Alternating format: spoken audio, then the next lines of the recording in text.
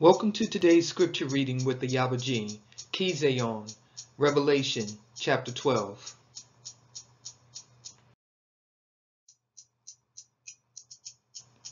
And there appeared a great wonder in heaven, a woman clothed with the sun and the moon under her feet, and upon her head a crown of twelve stars. And she, being with child, cried, travailing in birth, and pain to be delivered.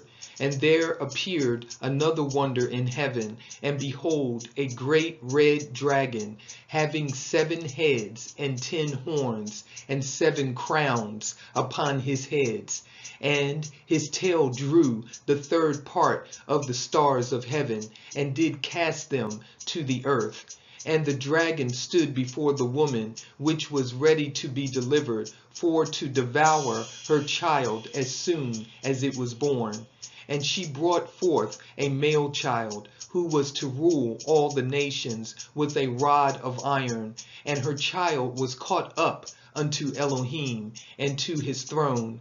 And the woman fled into the wilderness, where she has a place prepared of Elohim, that they should feed her there a thousand two hundred and threescore days. And there was war in heaven. Michael and his angels fought against the dragon, and the dragon fought, and his angels prevailed not. Neither was their place found any more in heaven.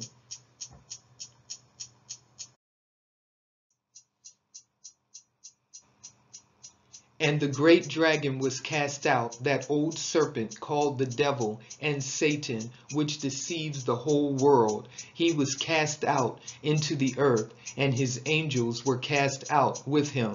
And I heard a loud voice saying in heaven, Now is come Yeshua and strength, and the kingdom of our Elohim, and the power of his Mashiach.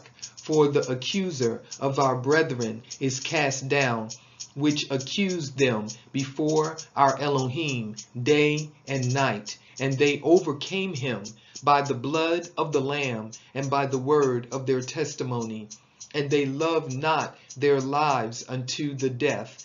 Therefore rejoice, ye heavens, and ye that dwell in them. Woe to the inhabitants of the earth and of the sea, for the devil is come down unto you, having great wrath, because he knows that he has but a short time. And when the dragon saw that he was cast unto the earth, he persecuted the woman which brought forth the male child.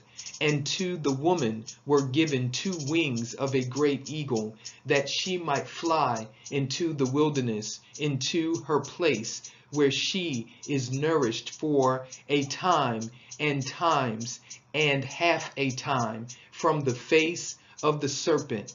And the serpent cast out of his mouth was as a flood after the woman, that he might cause her to be carried away of the flood.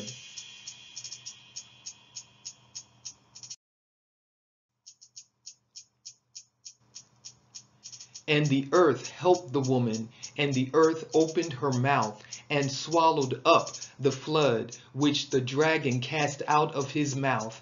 And the dragon was wroth with the woman, and went to make war with the remnant of her seed, which guard the commandments of Elohim and have the testimony of Yahusha HaMashiach.